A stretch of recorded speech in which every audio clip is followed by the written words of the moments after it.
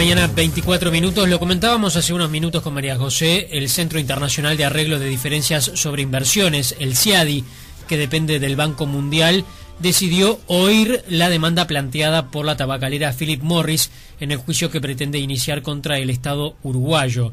Lo que implica esta decisión es que el CIADI se declaró competente como para atender en este tema. Recordemos que la información surge a partir de un comunicado de la propia empresa, la propia tabacalera, que es la parte interesada en que se conozca este resultado, esta decisión del CIADI. Sí, un comunicado que, entre otras cosas, además la vocera de Philip Morris eh, menciona que esta decisión hace que Uruguay asuma su responsabilidad respecto a las obligaciones internacionales, una responsabilidad que intentó evadir en las cortes locales y ante este tribunal. Esto es parte del comunicado de la multinacional que emitió entonces informando sobre esta decisión. Estamos recibiendo en este momento al responsable del Programa Nacional de Control del Tabaco del Ministerio de Salud Pública, Winston Abascal. ¿Qué tal, Abascal? Buenos días. Buenos días. ¿Qué implica esta decisión del CIADI?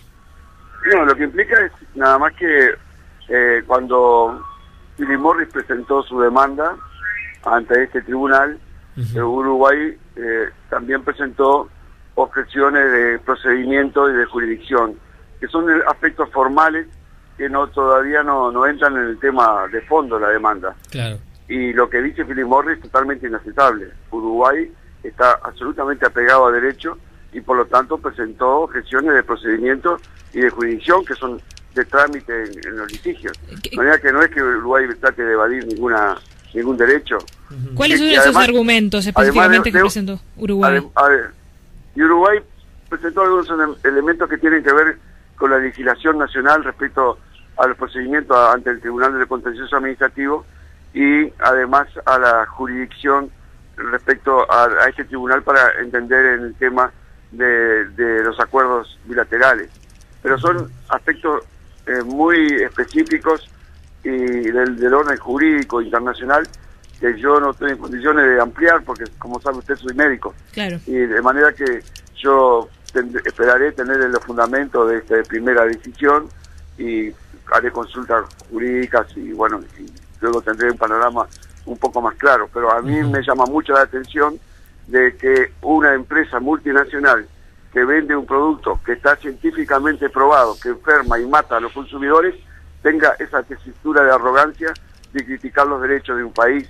Digamos que es la, política de las últimas décadas de estas multinacionales que a pesar de todo el conocimiento y toda la lucha de, la salud, de los ánimos de salud a nivel mundial, sigue generando eh, enfermedad y muerte a lo largo del mundo. Sí, recordemos, Pascal, en qué se centraba esta denuncia específicamente y cuál es el argumento que tiene Uruguay para no darle cabida.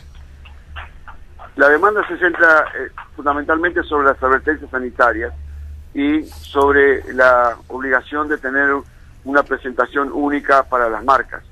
Y la, se basa en que las imágenes de las advertencias sanitarias son muy, digamos, eh, odiosas para la empresa, pero no para la gente que le informa del daño. Y además se quejan de el tamaño de la advertencia, que según eh, dice la empresa, afectaría a la marca.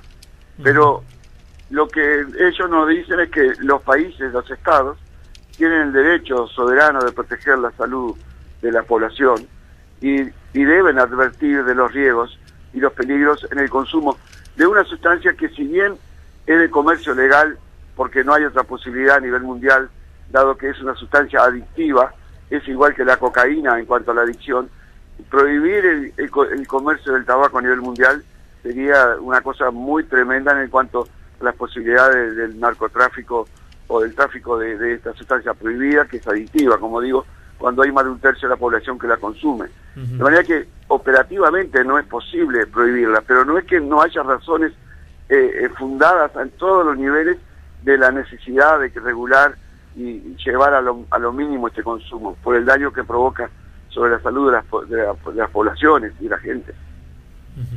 ¿Y específicamente eh, consideran que estas medidas han tenido ya un resultado, como usted lo menciona? Y claro, Uruguay ha descendido más de un 30% la prevalencia del consumo. Y en los jóvenes pasamos de, de 30% de prevalencia en el 2003 a 13% en el 2011, en la población de 12 a 17. Y eso sí le preocupa a Philip Morris, ese ejemplo, porque la epidemia se reproduce en la adolescencia. Es muy raro que alguien después de los 20 años comience a fumar. En general le da, inicios entre los 13 y llega hasta los 18, 19 años, en el cual el 90% de los fumadores comienza a fumar y adquiere la adicción a una sustancia que le quita su libertad luego.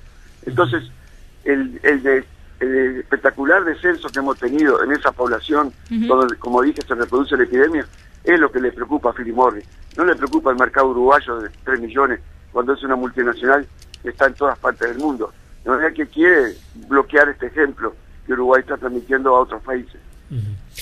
Eh, Abascal, le agradecemos mucho sus minutos esta mañana. ¿eh? Bueno, cómo no, gracias a usted. Era Winston Abascal, el responsable del Programa Nacional de Control del Tabaco del Ministerio de Salud Pública. ¿Quién ha estado al frente de este tema en el gobierno? El prosecretario de la Presidencia de la República, Diego Canepa, a quien estamos recibiendo. ¿Qué tal, Canepa? Buenos días. Hola, buenos días para todos ustedes y muchas gracias por, por recibirnos. Eh, ¿Dónde lo encontramos en este momento? Estoy en mi oficina, saliendo, acabo de llegar a una reunión y llegando tarde a otra reunión que tengo acá en mi oficina, eh, tenía la reunión temprano y bueno, estaba, estaba ayer de noche a última hora recibimos el, la comunicación de este fallo y con otros temas también de la agenda de gobierno que, que, siguen y que tenemos que estar atendiendo. Pero hoy vamos a tener una reunión y seguramente hagamos una conferencia de prensa, eso de las 5 de la tarde acá en, la torre ejecutiva, luego de un análisis, porque hay que ver, es una sentencia bastante, una, una no siquiera es una sentencia, es una primera decisión bastante grande, larga.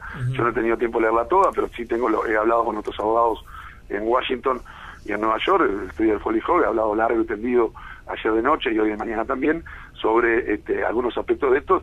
Tú decías empezar una estrategia, en realidad es seguir la estrategia. Esto es como haber terminado el precalentamiento y ahora viene el partido de verdad. Eh, lo que sucede es que acá lo que se discutió es un tema técnico. Por supuesto que la empresa saca un comunicado para para anotarse un tanto que parte de la estrategia comunicacional de, la, de la empresa, pero en realidad no hemos no, sea, no, ni siquiera ha empezado el caso de fondo. Lo que se ha discutido acá, y creo que, que, era importante transmitirlo, lo hemos dicho, era discutir si el CIAE tenía jurisdicción en un leading case, que este era un tema muy discutido. Por algo tardamos dos años, imagínate que llevamos más de dos años y medio discutiendo pura y exclusivamente si en realidad estos árbitros estaban este, tenían las condiciones o no de acuerdo al derecho internacional y a las condiciones del CIAI para tomar un caso de las características que la planteaba Filimor. Canepa, ¿y esta resolución qué es lo que argumenta específicamente? ¿Por qué sí tiene competencia? Bueno, yo, pues, no leí todo el fallo, pero tengo algunas cosas que me preocupan. Por eh, ejemplo. Se basa mucho en algunas decisiones de O sea, porque acá, ¿qué sucedió? Primero se decía que no se cumplió todo el procedimiento establecido por el Tratado Bilateral de Uruguay con Suiza. Después se estableció que, ¿cuál era? Que había un procedimiento específico, ¿verdad? Hay una ley en Uruguay, la dice mil y pico, cien, creo, que establece un procedimiento específico para quienes, quienes tienen tratado de, de empresas que están amparadas por tratado de inversiones, deberían seguir ese procedimiento pero ahí dicen que los jueces uruguayos, esto es un problema nuestro, y esto no quiero adelantarme porque si no va a ser la noticia y el escándalo, pero lo que me decían los abogados norteamericanos que algunos de los fallos del TCA y de algunos jueces uruguayos, ellos entendían que la, haber ido por el Tribunal de Contencioso Administrativo era suficiente agotamiento del procedimiento jurisdiccional en Uruguay. Ellos no se paran como en Uruguay, o, entienden que más allá que bajo la ley uruguaya el procedimiento administrativo no es un procedimiento judicial, a los efectos internacionales es, lo mismo de que eh, se presentó frente a una corte y que no pudo este, resolver su problema frente a esa corte. Y aparte por el tipo de sentencia que se dio en la corte, por el profundo desconocimiento del derecho internacional que existe mucho en otros jueces, algunas de las partes de la sentencia fueron utilizadas como argumento para decir que en realidad el los propios jueces uruguayos descartaron la necesidad de pasar por otros procedimientos en Uruguay y que dijeron que esa era la válida. En realidad no lo descartaron, había un desconocimiento enorme, yo creo que ni sabían que existían estas leyes especiales votadas en Uruguay para estos procedimientos. Pero estos son aspectos técnicos que no hacen a la cuestión. Los argumentos de fondo son que en realidad, y esto es más entendible en el, en el derecho anglosajón, que es un poco el derecho que prevalece en el mundo por encima de, de otros, y no el continental europeo como el nuestro, el de raíz continental europea como el, el, derecho nuestro, que es que los aspectos formales son subsanables en el, mediante continuación del proceso porque no, no obstan a que se pueda discutir sobre el mérito asunto. Y acá lo que hubo es una decisión del tribunal de, de entender que sí, que quieren resolver este tema de fondo porque es la primera vez que se plantea y es un buen una buena una buena situación para establecer un leading case, o sea, un caso testigo o un caso que sea seguido por otros cuando se planteen situaciones similares. Canepa, en este comunicado, bueno, en estas declaraciones por parte de Philip Morris, dice que estas medidas injustificables restringen que los negocios legítimos vendan sus productos y usen sus marcas registradas al mismo tiempo que aumentan los incentivos para el mercado negro de cigarrillos, el cual representa hoy un cuarto de todos los productos de tabaco consumidos en el país. Obviamente, como tú decías, eh, Philip Morris aprovecha entonces esta decisión para eh, plantear su argumento también y una especie de campaña, ¿verdad?, en contra del, del Estado uruguayo. ¿Cómo, ¿Cómo ven ustedes esta comunicación por parte de la tabacalera? No, yo no le digo hoy de mañana, yo creo que parte de cualquier, es una cosa no muy elaborada, es un típico comunicado corporativo salido de una oficina de comunicación de una corporación de nivel de, de Philip Morris. Creo que lo que lo que importante es que acá el tema, ahora vamos a empezar a discutir el tema de fondo. Igual le adelanto a todos los oyentes que este tema, ahora que, que si llevamos dos años y medio para discutir la jurisdicción, sí, claro. disculpen, se imaginarán que vamos a tener este unos cuantos años por delante para resolver este tema. Este tema ahora, recién ahora comienza eh, la, parte de fondo y va a haber una, una, serie de procedimientos que hay que seguir y de presentaciones y de audiencias durante todo lo que resta del año 2013 y el año 2014. Seguramente el fallo estará eh, a fines del año 2015. Por lo, por lo tanto, quedan dos años y medio o tres de, trabajo por delante.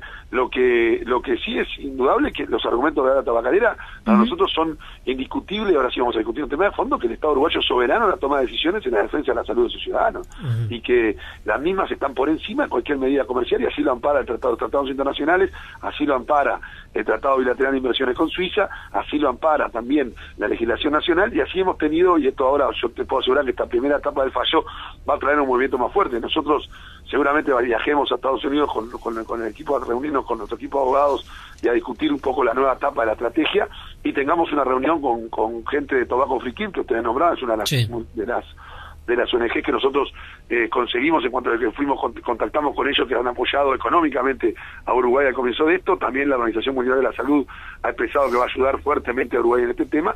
Y eh, el propio alcalde de Bloomberg este, nos estaba enviando eh, la, idea de juntarnos para que él pueda también este, seguir apoyando a Uruguay en esta en esta pelea pelea digamos de arbitraje o pelea con, con Philip Morris. Lo que ha cambiado, lo más importante, es que cuando comenzó este tema Uruguay era el único país que estaba con problemas con Philip Morris o que Philip Morris eligió como primer caso. Hoy ya Philip Morris tiene demanda contra Australia, está seguramente vaya contra Irlanda, eh, hay otros países, Noruega, hay otros países que están en este tema y hay coordinaciones entre los países que yo creo que van a terminar el asunto. Acá lo que sucedió es, a ver, esto es como cuando uno discute si eh, los aspectos formales de la presentación de algo están bien o mal, lo que decidió el tribunal es, más allá de que estén bien o mal, no es lo sustancial, nosotros nos importa discutir el fondo del asunto, vayamos al fondo del asunto. Es un poco el resumen de, la decisión del tribunal.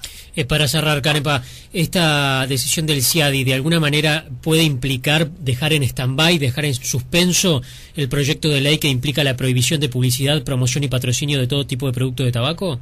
No, en mi opinión no, pero eso es un tema que le compete a la ministra de Salud Pública tomar la decisión. Mi opinión personal es que no, no tiene absolutamente nada que ver una cosa con la otra en cuanto a que no vamos a condicionar eh, nuestra política antitabaco que ha sido muy exitosa y que ha sido un pilar importante en la baja de la prevalencia de determinadas enfermedades derivadas del tabaco y que ha sido una política sumamente exitosa en Uruguay que ha generado un cambio cultural mucho más rápido que otros en nuestro país por, por este tipo de, demandas. Creo que acá lo que hay que seguir trabajando, no hay que generar ningún tipo de de digamos, de, expectativa negativa. Acá el partido recién empieza y le puedo asegurar que es un partido que al final, cuando el cuento que el pito y termine el partido, nosotros habremos ganado este caso. Bien. Canepa, muchas gracias por su tiempo esta mañana. Era el prosecretario de la Presidencia de la República, Diego Canepa.